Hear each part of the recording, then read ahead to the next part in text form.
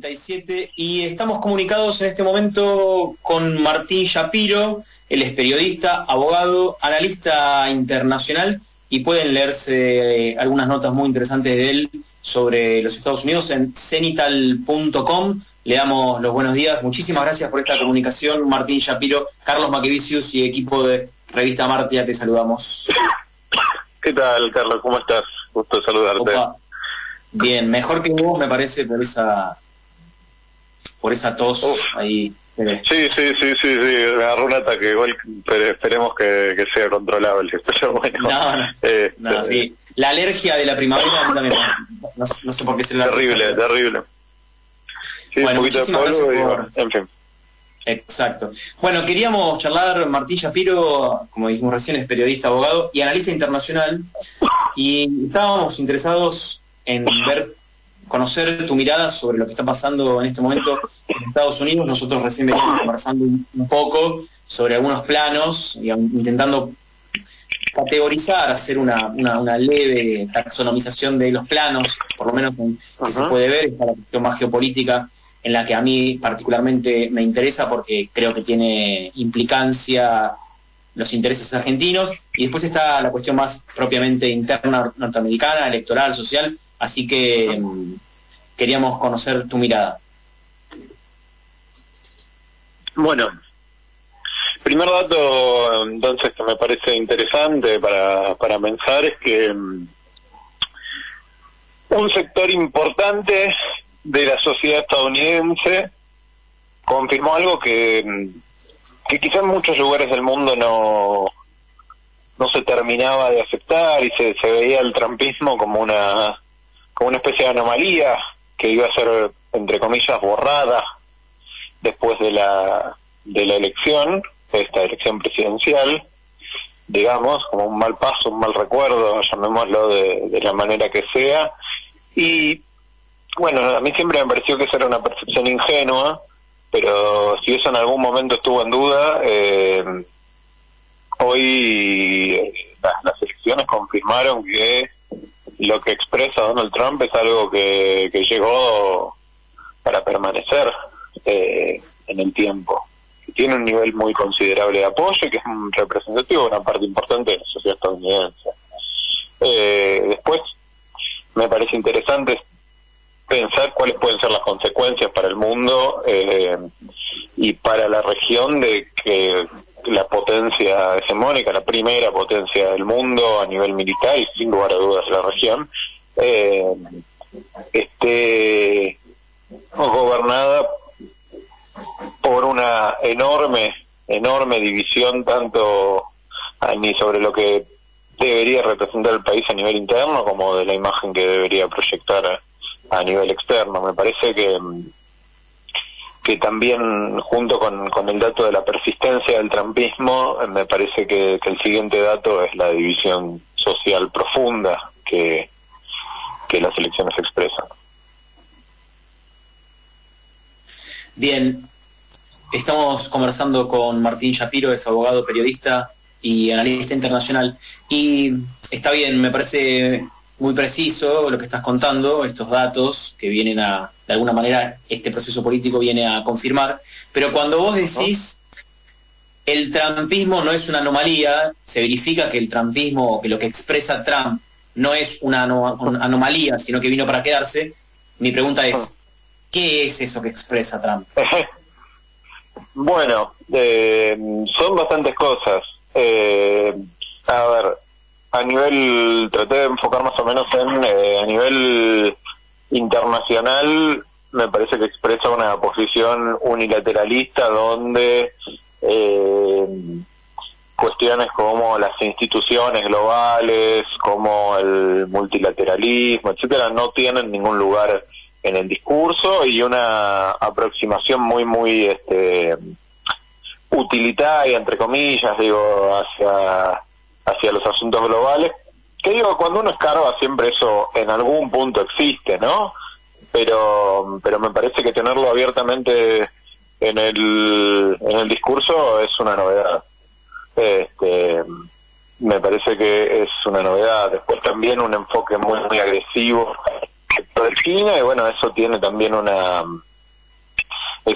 tiene una consecuencia, me parece, en el modo en el cual los Estados Unidos se dirigen al mundo, que es desde eh, una posición de eh, agresividad y de eh, toma y daja en lo que son todas las las relaciones existentes. Entonces va a la OTAN y dice, ustedes gasten más en, en, defensa, porque si no yo no este tratado, ustedes no le compren a China, porque si no yo me voy a correr, etcétera es una visión, digamos, del mundo eh, absolutamente militarista. Después a nivel interno eh, también expresa una serie de, valores eh, que no son los que tradicionalmente los Estados Unidos buscaban proyectar. Quiero decir, Trump no es una persona que se apega de ninguna manera a instituciones pervivientes, tienen un enorme desprecio por el liberalismo económico comercial como modo de, de, ejercer el comercio, este, tiene del, país que se presenta al mundo como, como Crisol, tiene una visión en cambio totalmente negativa de, la inmigración, bueno, me parece que hay un montón, y después cuestiones que tal vez uno no vincularía a la figura de Donald Trump, pero sí a lo que ha hecho como presidente, que es también una mirada sobre lo religioso que, prioriza enormemente la agenda de algunos sectores eh, cristianos de, la derecha cristiana, de la derecha evangélica de los Estados Unidos. Bueno, eh, en fin, me parece que es una serie de valores que no se alinean con los... Sí, ¿Qué tal? Nicolás Dulcich te habla y te quería preguntar en ese sentido, en esta sintonía, pensando desde acá, desde América Latina, esta elección cambiaba algo, digamos, en la política exterior norteamericana para con relación a Latinoamérica, alguno de los dos candidatos, ¿nos conviene que gane Biden? A ver, a mí no me gusta hablar de conveniencia porque después es, este, digo, después es distinto el enfoque y son distintos los problemas. Eh, y tal vez las oportunidades que, presenta eh, una u otra aproximación.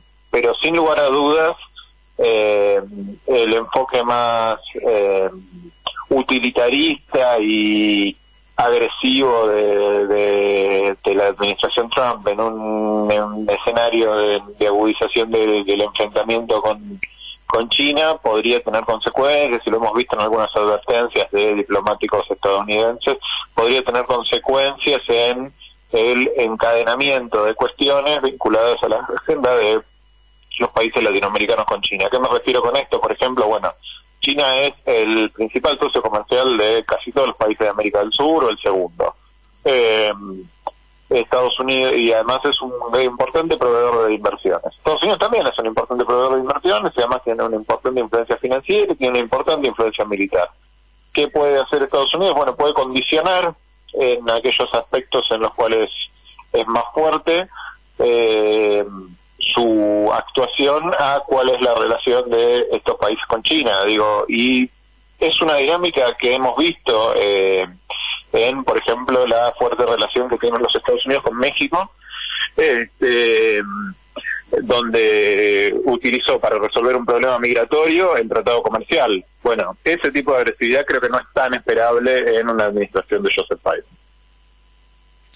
Estamos conversando en este momento con Martín Shapiro, analista internacional, eh, te, hago unas preguntas que por ahí pueden ser un poco antipáticas. Va, no sé si antipáticas. A mí me, da la sensación que Trump, pensado, te repito, siempre desde el interés nacional argentino, digo, el tema de, por ejemplo, que vos mencionabas, la desfinanciación o, o todo este suerte de desprecio por los organismos multilaterales y por este, por ejemplo la OTAN en concreto, digo, para hablar más en concreto. Teniendo en cuenta que Argentina tiene parte de su territorio usurpado por, por, Gran Bretaña y, la, y la relación con la OTAN es, directa.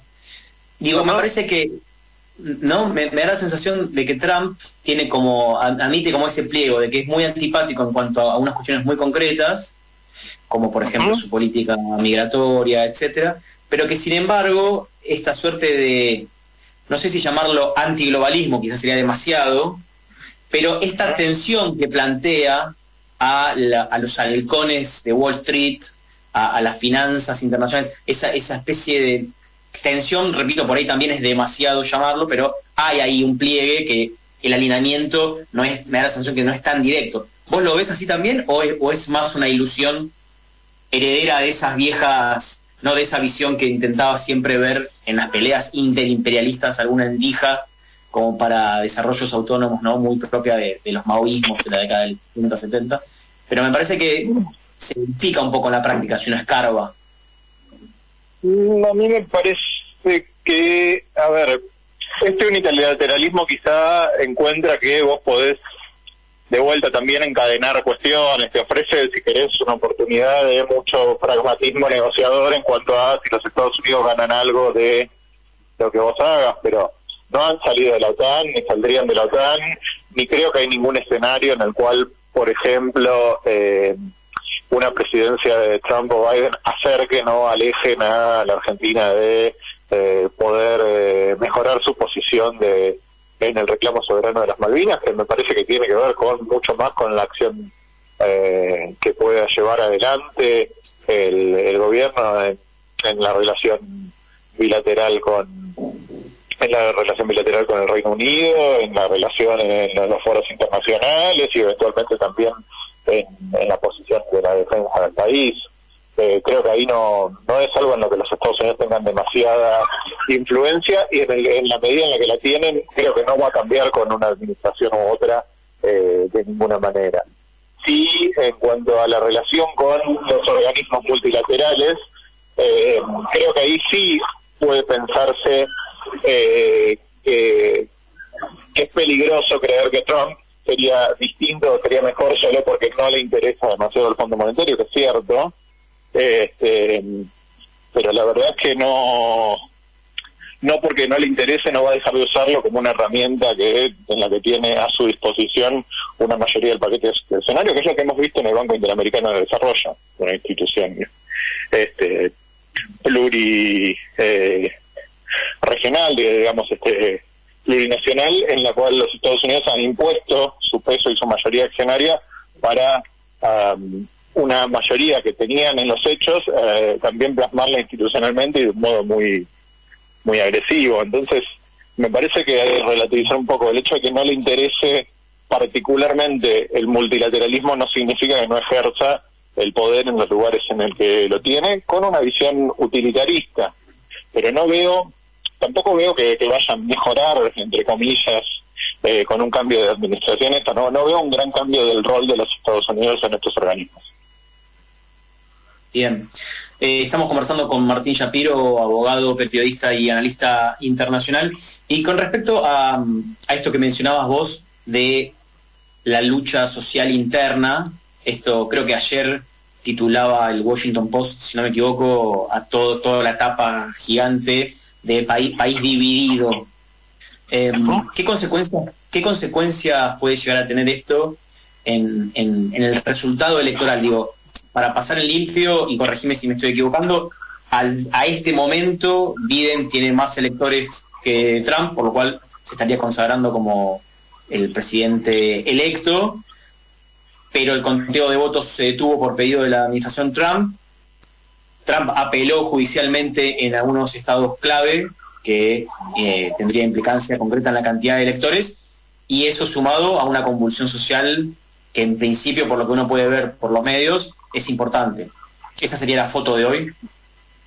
Sí, a ver, em, estamos esperando algunos resultados de Pensilvania que, harían que, que a la mayoría electoral, uno mira los planteos judiciales que, se están haciendo y no parece que tengan una enorme eh, posibilidad de prosperar, a pesar de algunas especulaciones sobre la composición conservadora de la Corte Suprema, pero la verdad es que no